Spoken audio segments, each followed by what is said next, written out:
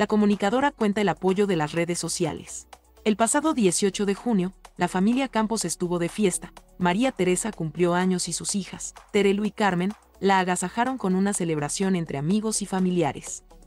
Como consecuencia, la postal del día fue compartida por una de las colaboradoras en sus redes sociales y sus seguidores no hicieron, más que cuestionar a ella y a su hermana, por el trato que le dan a su madre.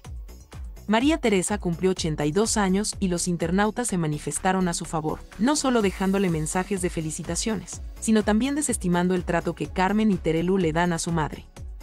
De esto nos pudimos enterar gracias a la postal que compartió la madre de José María Almoguera en sus redes sociales. Ni la mediática ni nadie esperaban que los seguidores de la familia la cuestionaran tanto a ella como a su hermana. Esta no es la primera vez que Terelu Campos y Carmen Borrego son puestas en apuro por el trato que le dan a María Teresa.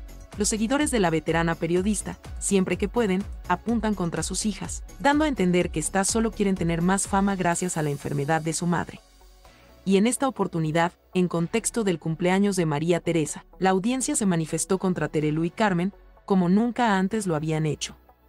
Le dejaron alrededor de 900 mensajes, en los cuales en muchos de ellos dijeron cosas como, qué poco respeto muestran estás por su madre, siempre vendiéndola, peseteras.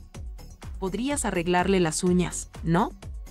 Ella siempre las ha llevado arregladas y si tanto la quieres arréglale las manos, ¿no sois capaces de arreglarla?